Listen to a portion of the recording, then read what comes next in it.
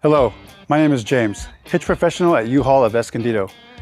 Putting a fifth wheel hitch on your Ford F-Series can lead you to some amazing adventures, like camping and heavy duty towing. Let's break down that easy puck system install.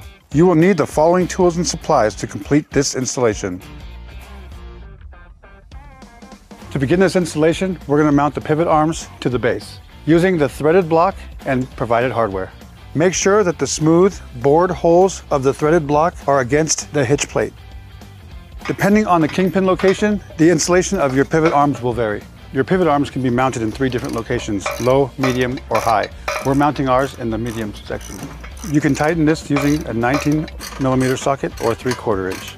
And now I'm going to torque the bolts to the manufacturer's specifications. Then repeat the same thing on the other side. Locate the quarter cap screw and nut along with the wire, tension spring, and mounting clip. Pass the 1 quarter cap screw through the mounting clip and the wire spring as shown. Install your mounting clip and your tension spring half an inch from the top of the pivot arm.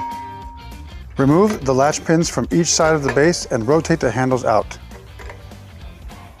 Then repeat the same thing on the other side. Lower the base into the truck.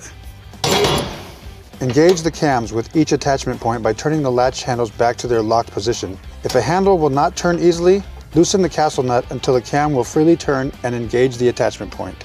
Reinsert the cotter pin to lock the handles. We are now ready to put the handle on the coupler. Tighten the hardware down with a 9 16 socket and a 7 32 Allen wrench.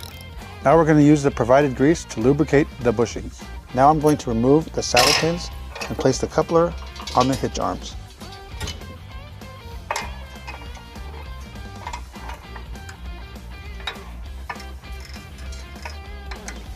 This concludes our fifth wheel puck system installation. Hope to see you guys out there. If you have any questions about the products seen in this video, or if you'd like to schedule an installation with your local U-Haul hitch professional, please visit us online at uhaulhitches.com.